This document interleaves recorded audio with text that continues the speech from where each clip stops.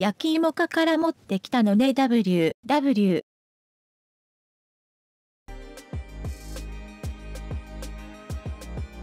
活動休止中のダンスボーカルグループ A、A、A の宇野実彩子が6月8日に自身のインスタグラムを更新し、プロ野球の試合を観戦した際のショットを公開した。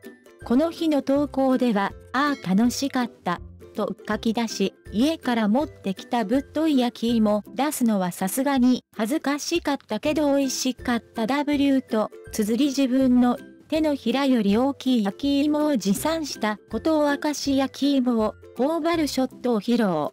そして次はどこのチームのユニフォーム起用かな？疑問符？と綴り応援グズを片手にジャイアンツコーデのショットを披露した。この投稿にファンからは、芋持参してくるあたり最高 www ほんと可愛すぎて画面割れる、焼き芋美味しそう。などの焼き芋に関するコメントやユニフォームをリクエストするコメントが寄せられていた。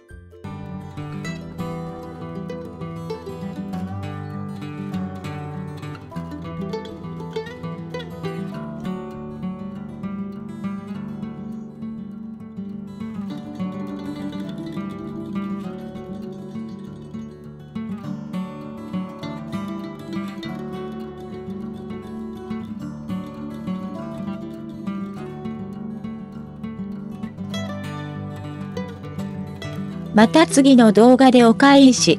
最後までお付き合いいただきありがとうございました。私のビデオを見てくれてありがとう。